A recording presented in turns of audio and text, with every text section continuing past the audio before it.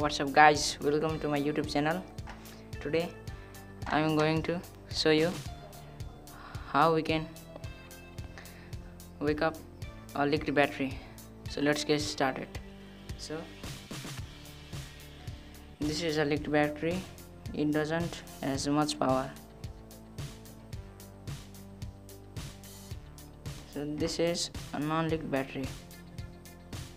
It has some power so let's start this leaked battery to wake up. So first to wake up a leaked battery we should connect this positive terminals to positive terminals negative terminals to negative terminals. This battery was leaked due to some problem. So let's wake up this battery. First we shall connect these positive terminals to the positive terminals of the battery for 10 seconds. 1 2 3 4 5 6 7 8 9 10 now another negative terminals.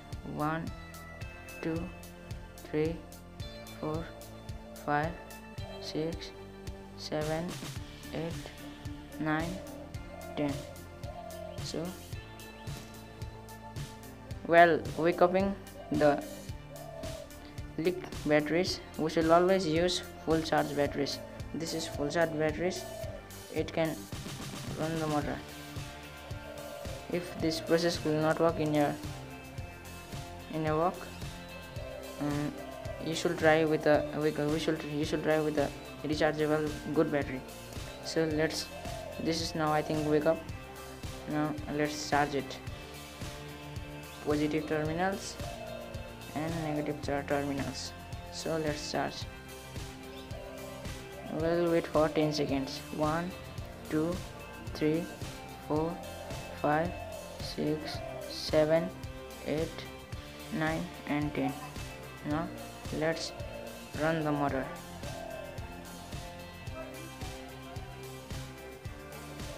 oh this is working so guys i think you have many problem. This battery is leaked in some days. So please subscribe to my channel.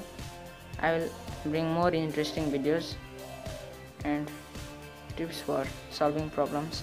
So subscribe my channel and like share and comment my channel. And any question comment below. Goodbye guys